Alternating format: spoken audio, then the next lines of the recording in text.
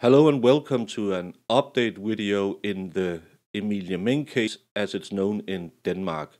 This is the case about the young woman who was abducted when she had been out having a party with her friends.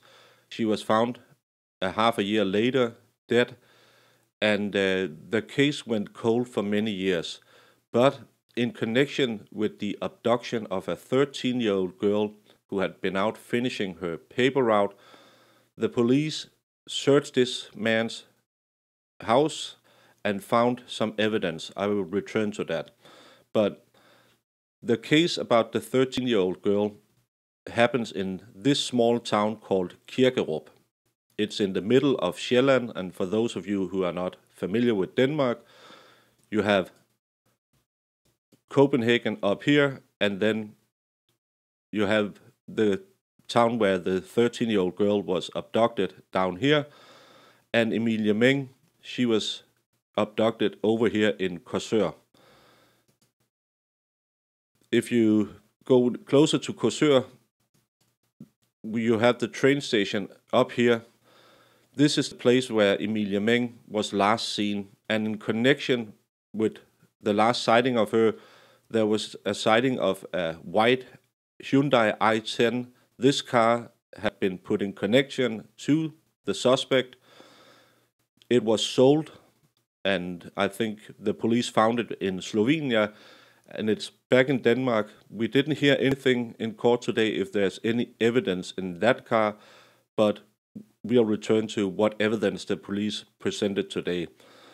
In Denmark, you have to present evidence to a judge to keep a person in pretrial detainment, and uh, you can then be uh, detained for up to four weeks, and then the police will have to come back and say, well, we are still looking at this, and we have this evidence, and we think if he is let loose, he can try to do something to hinder the investigation. But the uh, judge today said, with the new evidence, we can uh, the police can keep him in prison for another four weeks at least.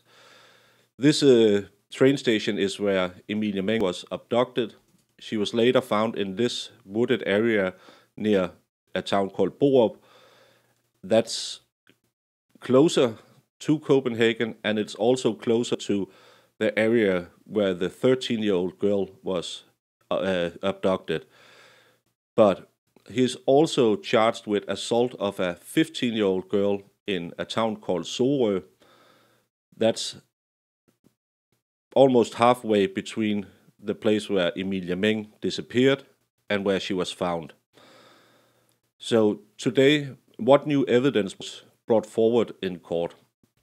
Well, first of all, you have the 13 year old abduction case. He has partially pleaded guilty to that case. We don't know which part he has pleaded guilty to, but he has partially pleaded guilty in that case.